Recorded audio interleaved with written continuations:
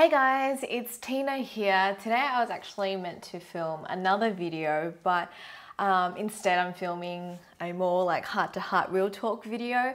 And that's because this morning, like many of you, I just jumped on YouTube. I was watching a bunch of videos and I stumbled across um, one of Wayne Goss's videos on his, um, I think, Goss Makeup Chat channel. And the title was How YouTubers and Beauty Gurus Stopped Inspiring Us.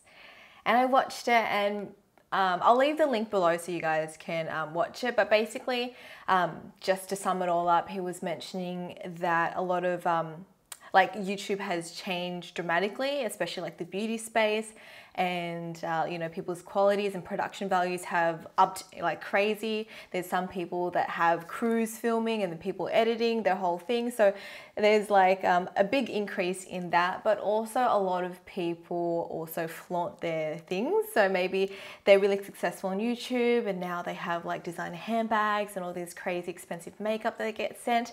And how he finds that uninspiring and um, somewhat there's something wrong with that. And he put a question out there to get like a discussion going about how, you know, you guys felt when you watch videos like that. Does it inspire you? Does it not? How do you feel about it? And I was reading the comments, and a lot of people do feel really uninspired and hate the fact that YouTube has changed so much. And they also mentioned, you know, they can't relate to these YouTubers anymore that have gone from small channels to big channels and now they're more commercialized and just more like a salesperson. And honestly, it got me thinking and I I kind of feel a bit worried because I'm kind of like in that space as well. Like last year or a few years ago, I was a very small channel and now I'm growing slowly and like I don't want to be, I guess, like a sellout and be someone like that on the other end. So I actually wanted to like continue this conversation on my channel and actually ask you guys, you know, do you still find YouTube inspiring? Or like what do you like about it? What don't you like about it? to some degree, I do agree with um, what um, Wayne said in his channel that yes, YouTube has changed, the beauty category has changed dramatically.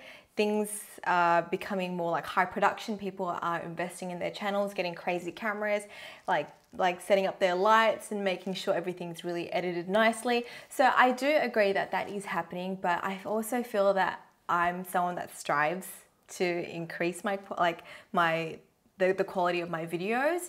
I always want to better my editing, better my quality of the videos and all these things, but I like to me, I'm just investing in my craft, just like any sort of business or any sort of occupation. You need to invest in yourself either by studying, by buying books, going to courses, buying the right equipment and tools. And for me, that's the lighting, that's the camera. I mean, my, my production isn't like too crazy. I do everything myself. Now Alfred helps me film, but I've always kind of been like a one man show. But in saying that, that hasn't stopped me from bettering my quality of the videos.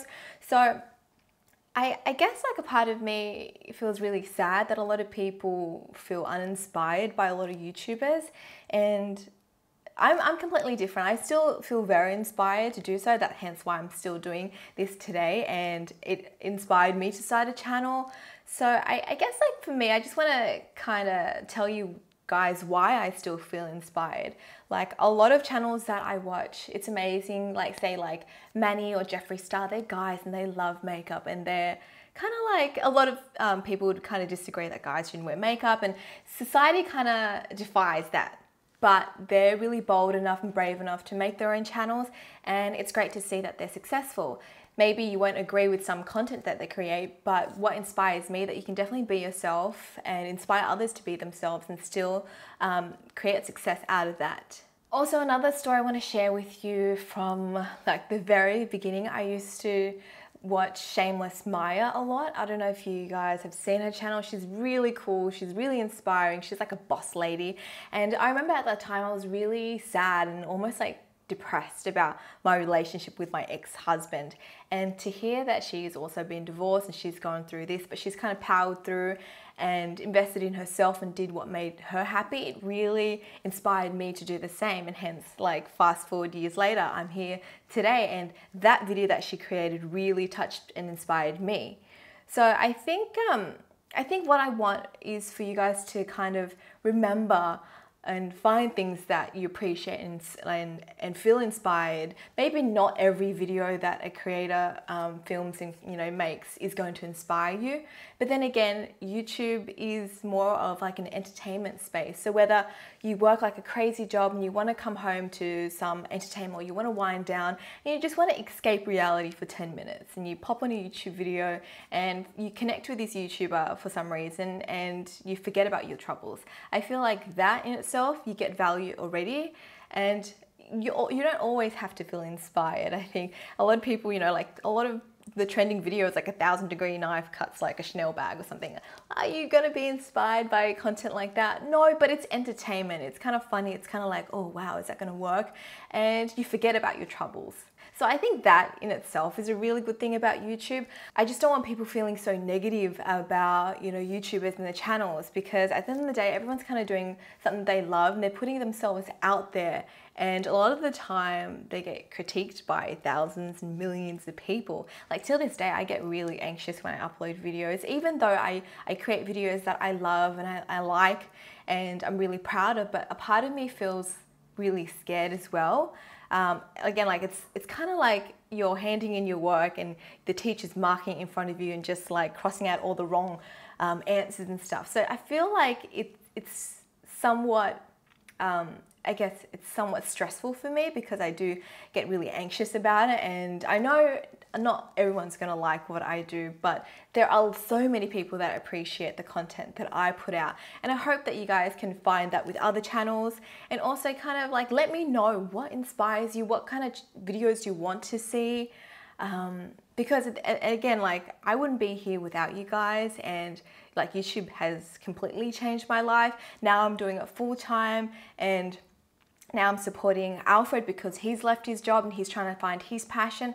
I'm also supporting my mum. She's finally off welfare and I get to support her living. And that's all because of you, because you guys watch my videos. So I really want to put the question out to you and, and ask like, what videos do you want to see from me? What sort of content inspires you? What sort of things do you look for?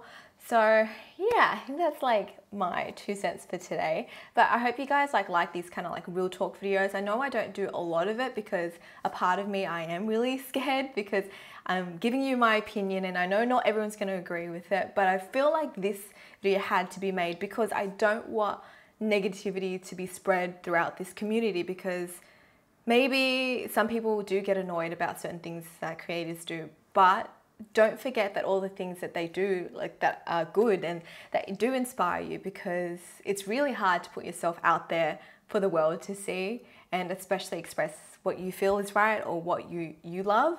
So i don't want you know you guys to be too harsh on the YouTube community. And I know a lot of people, a lot of you out there would love to have a YouTube channel and this fear of being judged and this fear of, am I not good enough? Or maybe no one's gonna watch my videos. Like everyone like on this like platform kind of felt like that before they created a channel. So when you judge them and spread that negativity, I think it disheartens all these other YouTubers that do want to do the same, but they they're scared. They're scared of this judgment. So I kind of want you to just think back and like let me know like how YouTube has inspired you. Maybe you watched a video or maybe it just brightened up your day. And I want you guys to like comment and let me know below because you know it's nice to share those stories and it's nice to remember why you watch YouTube, whether it be for entertainment, for a good laugh, or just to learn something or feel inspired. So yeah, that was a long chat. But I, I hope I got my message across and I hope that you know you guys continue to love YouTube and one day maybe be a part of it, maybe share something that you love, create a channel. Just be brave enough to to take that leap and do something you love because I mean YouTube has done amazing things for me and I continue to like love doing it every day. It's provided so much for me and I hope that my story can set an example for you because um, it's definitely changed my family's life as well. So don't be so harsh and negative on creators. And yeah, that is it for today. I hope you guys enjoyed watching or like listening to this. I don't know, I'm like super awkward at these things. But yeah, I'll speak to you guys next time. Bye.